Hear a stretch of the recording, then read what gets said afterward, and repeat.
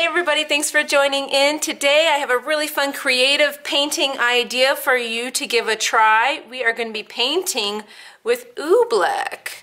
If you've ever played with this stuff before, it's always lots of fun, but did you know that you could paint with it? Probably not. So I'm going to mix up one more color here so you can see how it's done.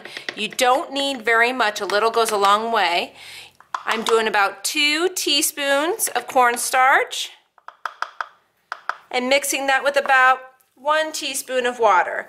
I've also got a little pipette here because if you need more water, you want to add it a very small amount at a time. Now I've already got green, blue, and orange mixed up here, so I'm going to add some red food coloring to this one, so it'll probably be more of a pink color once it's mixed in with the white. I've also am using plastic forks for this just because that way your containers don't tip over when you're using them. If you got metal forks in there, they'll want to knock over. See, we're going to need more moisture in this one. So, using a pipette, just add a little bit at a time. You don't want it to get too runny. You want it to still form into a hard matter when you're stirring. So just a little bit at a time until we get to the consistency that we want. And it is really interesting to stir. As you can see, it gets kind of tough or hard when you're stirring, but then when you stop, it gets really loose. I'll bring it really close here, and let it focus in. So that's what we're looking for. You want to be able to pull it apart with your fork, push it really hard, but when you lift up your fork, it kind of loosens back up. That's what we're looking for.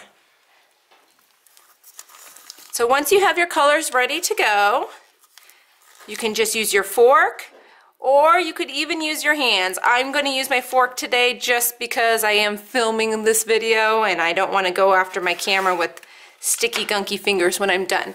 So just take a forkful of oobleck and start drizzling it down on your strips of paper. Now I am using cardstock so it's a little bit of a stiffer paper it will help it from getting soggy. But as you can see, it kind of drizzles down and makes really fun patterns. You can mix and match between your colors. See, grab a little green here. And just kind of make some fun designs.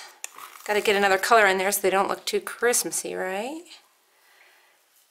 Along here with our orange. And it is really fun to get in with your hands and do this as well. So I definitely encourage you to do that. We are doing this on a cookie sheet. It kind of helps keep your workspace nice and clean as well. Go in with our last color of blue. There we go. We'll hold this one up really high. The higher you get up, the skinnier little drizzles you'll be able to get. This way over here needs a little bit more.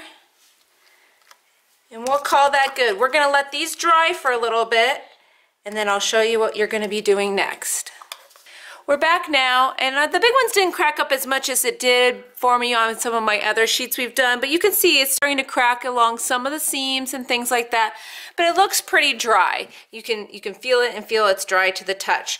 So what you're gonna need is a spatula with a nice straight edge, and you're gonna wanna keep working on your tray that you had before. So just pick up your piece of paper and move it to the side. And we're just gonna take the edge of the spatula and scrape off that top layer, just like that. And you see it reveals a really cool pattern underneath. A lot of that color sticks around and the edges of the color, or the edges of the oobleck or oobleck leave an even darker area.